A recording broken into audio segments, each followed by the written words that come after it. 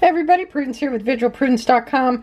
We are in the middle of Hurricane Irma right now. I still have power, but uh, I don't want to dirty any pans or uh, while I'm cooking anything. I thought it'd be a good time to open up another MRE. I do not have my studio set up. I'm kind of in hurricane mode. So this is going to kind of be done with my handheld here, my handheld camera, which is a Canon G7X, and I'm going to try a beef brisket entree. So hold on, let me get it opened up for you. I'm going to set the camera down, I'll be right back. Okay, so I've got it opened up, and the first thing we've got is chocolate chip cookies. That's good comfort food in the middle of a hurricane. And then we've got some toffee cubes which I don't know if they're maybe square chocolate flavored toffee cubes. I don't know. I was going to say square uh, Tootsie Rolls, but I don't know. That'll be interesting. We have some cheese spread, which probably is no good anymore. These MRE, your standard spoon and accessory kit. Oh, we have butter buds. What do we need butter buds for? We have crackers, barbecue sauce, that's probably for the brisket, uh, a biscuit, this is going to be a good comfort food meal, cocoa beverage powder, um, I'm going to have to look up, it seems like one of these uh, cocoa powders was on a recall. I'm not going to drink this now anyway. I'm going to just drink water. Here's the flameless ration heater. I do still have power, so I'm not going to use that. I'm just going to actually boil this. And then here is the actual brisket in gravy with seasoned beef brisket slices. And there is the ingredients. We just got a National Weather Service alert, so let me uh, let me go hear what that is, see how the weather's deteriorating. When I come back, I'll let you know the date code is on this beef brisket. So there we are, we're boiling the brisket. I even put the biscuit in. Whoo, that's hot. I even put the biscuit in for a little bit just so it could kind of warm up. Oops, sorry. You steamed up there. So I'm uh, boiling the brisket and kind of warming the biscuit.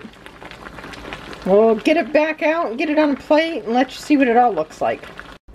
Okay, so there is the beef brisket with the biscuit. Which, interesting looking biscuit. I did warm that up a little bit. And uh, just let you know that uh, weather alert was a flood advisory for the area. So I'm going to give this a quick taste. Then I'm going to eat it off camera. I'll come back and kind of let you know how it, how it is. I'm going to open up the crackers as well. But again, I'm not set up my normal configuration right now. So I'm hand holding the camera. So I'm short of hand. So let's give this a taste. Mmm. That's very good. A little salty. But that is very, very good. So, I'm going to go ahead and eat this. And uh, I'm going to open up the crackers and eat some crackers. Again, I'm on this little purple plate here because I don't want to dirty any dishes. I could wash them, obviously. I do still have water. But, um, which is a lot easier. Kind of rinse this off, throw it out. So, uh, I'll get back to you after I finish this up and let you know how it is. Okay, as you can see, I cleaned my plate. That was a delicious meal. I will tell you it was salty. So I highly recommend if, if you get the beef brisket, um, definitely you want to have some water or a Gatorade or something with that. It was very salty. Uh, the biscuit was a very dense biscuit, but it was very good. and I would highly recommend you eating the biscuit with the brisket um, because the two of those went, went very well together. This brisket was packaged June 16 of 2010. So June 16 of 2010, so just a little over uh, seven years old. Um, and it was still very good. Uh, it was stored in uh, an environment that ranged anywhere between 72 and 79 degrees on a consistent basis. At least that's um, once we purchased them. Uh, we purchased these MREs years ago, probably uh, three, maybe four years ago on eBay. So I believe when we purchased them at the time, they were already three years old or so.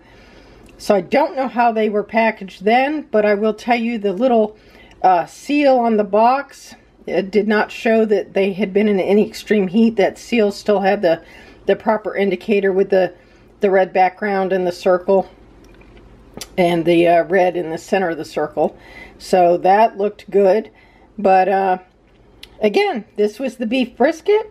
Sorry I didn't have this set up in the normal setup. We are in hurricane mode here, so the the studio is, has been taken down. The cameras have been put away, all except for this Canon G7X.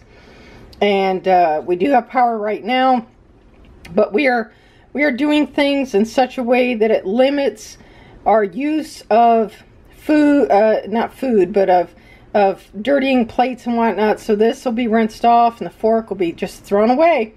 And uh, these are why we have these MREs. Primarily, we wait for when the power goes out. But once the power goes out, MREs are a perfect thing to eat in the interim uh, while you're home at night. Obviously, you're going to probably have to go out during the day, maybe to where you work, and you may have power there. But an MRE is a perfect thing to eat in that interim at home when you don't have power. Again, freeze-dried foods are a good thing to eat as well, such as a mountain house or some other freeze-dried food. But if you don't have power, you can't really boil water. I mean, you can because you'll have propane.